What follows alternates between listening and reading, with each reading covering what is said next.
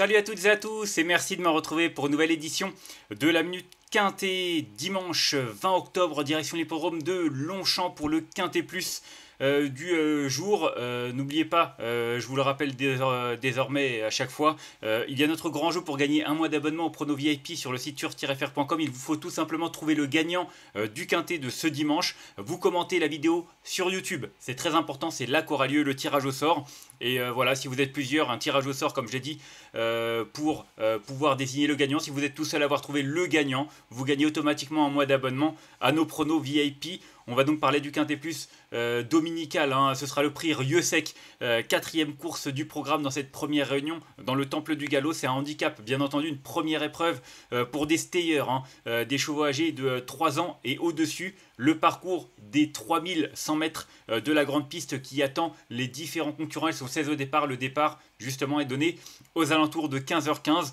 on a affaire à un lot assez intéressant avec 2-3 points d'appui, hein, a priori, mais c'est plus ouvert qu'il n'y paraît. Le terrain va être lourd. D'ailleurs, la lisse est à 11 mètres. Je pensais qu'ils auraient pu la mettre à 0 mètres, puisque c'est, je crois, la dernière réunion euh, sur l'hippodrome de Longchamp.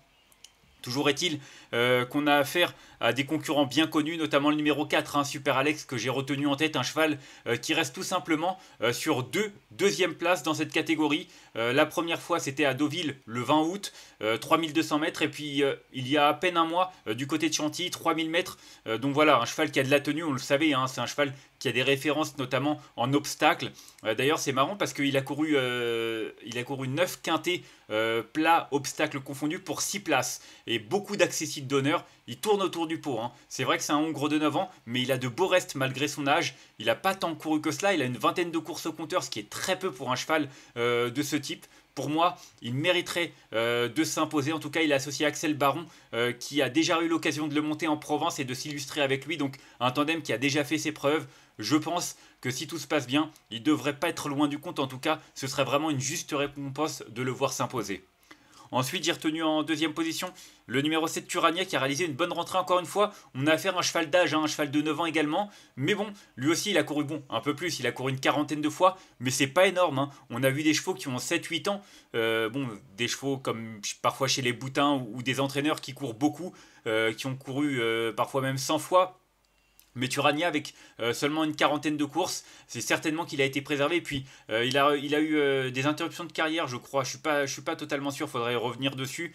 en tout cas, c'est un cheval qui a réalisé une bonne rentrée. Il a terminé cinquième du quintet dans lequel Superlex terminé deuxième fin septembre à Chantilly. Donc voilà, un cheval qui va certainement afficher des progrès sur cette sortie, associé à Maxime Guillon. Maxime Guillon, avec lequel la bataille fait rage, avec qui il est en lutte avec Michael Barzalona pour la cravache d'or. Donc voilà, chaque victoire compte et chaque bonne monte euh, mérite d'être transformée. En tout cas, il va faire son possible. C'est un cheval qui est compétitif en valeur 35. Pour moi, euh, il a de la tenue, il a l'aptitude au terrain lourd, il a tout pour plaire et c'est certainement l'un des concurrents capables de jouer les premiers rôles.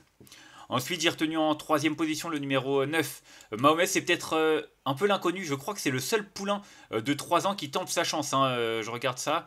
Ouais, c'est le seul concurrent euh, de 3 ans au départ euh, de ce euh, quintet. D'ailleurs, j'ai dit qu'ils étaient 16 au départ, excusez-moi, ils sont que 14. Hein. Ils n'étaient pas beaucoup au moment de la, de la découpe. donc, il n'y a pas 16 concurrents au départ, il n'y en a que 14.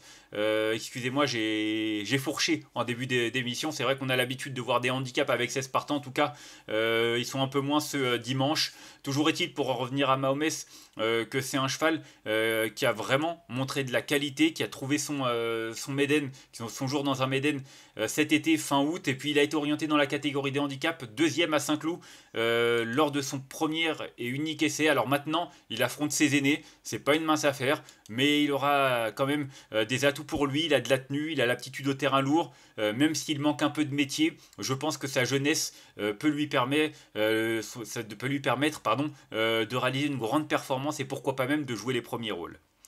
Ensuite, j'ai retenu en quatrième position le numéro 5 Utamaro. On le connaît bien, Utamaro. Euh, c'est un cheval qui a aguerri à ce genre de, tournoi. 18 quintés.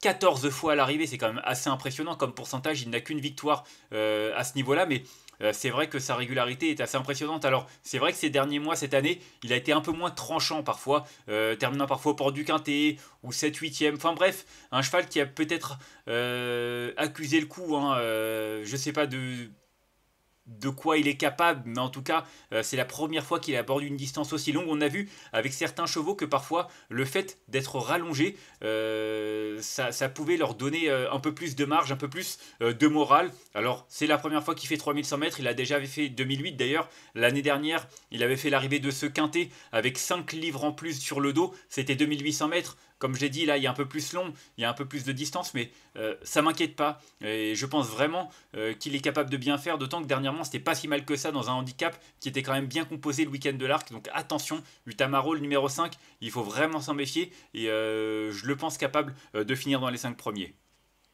Ensuite, j'ai retenu en cinquième position le numéro 12, Caléo César. C'est l'inconnu. Écoutez, c'est difficile de le retenir, mais difficile de ne pas le retenir. Il a couru 6 euh, fois pour 4 victoires et 2 accessites d'honneur. Maintenant, euh, il monte de catégorie. Euh, certes, il vient nous assurer de sa forme à cran. Il a déjà bien fait en terrain collant. Voilà, il y a du pour, il y a du contre, mais en tout cas en valeur 32, euh, je ne sais pas de quoi il est capable face à de tels adversaires. À lui de nous prouver qu'il a les moyens de bien faire. J'aime beaucoup son partenaire Corentin Berger, c'est un jeune qui est vraiment très habile. Et euh, attention à Alain Couetil également, c'est pas un entraîneur euh, qui fait les choses au hasard. Donc moi je m'en méfie en bas de tableau. C'est certainement un outsider qui vaut le détour. Ensuite, j'ai retenu euh, le numéro 13 en 6 position. Encore une fois, euh, un cheval dont on ne sait pas trop euh, où sont les limites. il reste sur deux victoires de handicap. Il est passé de 24,5 à 31,5. Il a pris 7 kilos après ces deux victoires. Alors, il est en forme, il s'est vraiment imposé avec la manière en dernier lieu à Saint-Cloud. Donc voilà, va falloir qu'il digère quand même la dernière pénalisation qui est quand même de 9 livres, un 4,5 kg. C'est pas rien. Euh, il aura pour lui d'avoir un poids assez intéressant en bas de tableau. Donc attention, je crois qu'il est associé à Christiane Demuro en plus. Donc pour euh, ne rien gâcher, je pense que c'est un concurrent euh, qui peut une nouvelle fois se surpasser. à lui de nous prouver qu'il a les moyens de rivaliser avec de tels adversaires. Mais en tout cas, vu la forme qu'il tient, je ne serais pas étonné qu'il le fasse. Ensuite, en 7 position, j'ai retenu le numéro 3, Maïkis. Maïkis qui vient de décevoir hein, euh, du côté de, de Chantilly. C'était une des courses références avec euh, Super Alex ou encore, euh, ou encore ou encore Turania.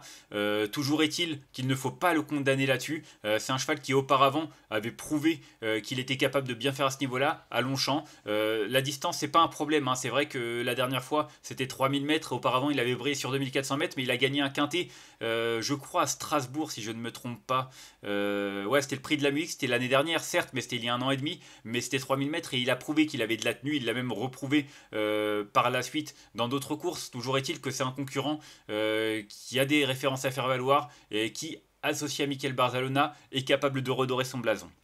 Et enfin, en huitième position, j'ai retenu euh, le top weight, un Paper Trophy, l'As, euh, un cheval euh, qui reste sur une cinquième place. C'était il y a deux mois de ça, hein, c'était dans un quintet Deauville. D'ailleurs, c'est le quintet où Super Alex terminait deuxième. Donc voilà, un cheval qui aime aller de l'avant, ça peut être un avantage, hein, le fait d'avoir un petit peu de fraîcheur. Il a des références également en terrain lourd. Il a même gagné un, quintet en terrain lourd en, début de printemps cette année. c'était fin mars, donc attention, malgré ses 61 kilos, je pense qu'il faut s'en méfier. Il court en général de manière espacée, que ça lui convient très très bien. Donc moi, je pense que ça peut être vraiment un outsider très très séduisant.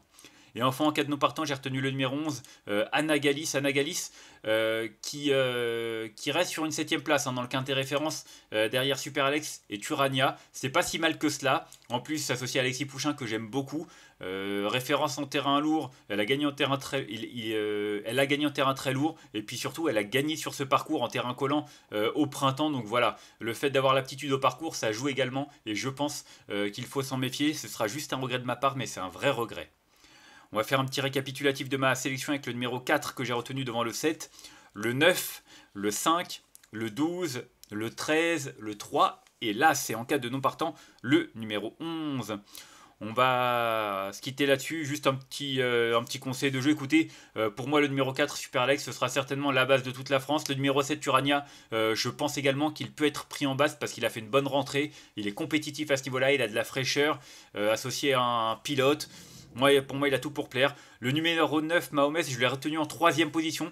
C'est pas un coup de poker parce que c'est un bon cheval. Maintenant, faut voir s'il ne sera pas un peu trop tendre à ce niveau-là. À la rigueur, mon quatrième cheval, le numéro 5, Utamaro, ça peut être une meilleure base. Voilà. Vous faites un petit peu votre choix en tout cas. Avec ces 14 concurrents au départ, je pense qu'on a quand même des points d'appui qui se dégagent et qui peuvent nous permettre euh, de dénicher la bonne combinaison. On va se quitter là-dessus. Je vous rappelle qu'il y a notre concours. N'oubliez pas de commenter euh, la vidéo YouTube en indiquant le gagnant pour avoir une chance de remporter un mois d'abonnement au Prono VIP sur turf-fr.com.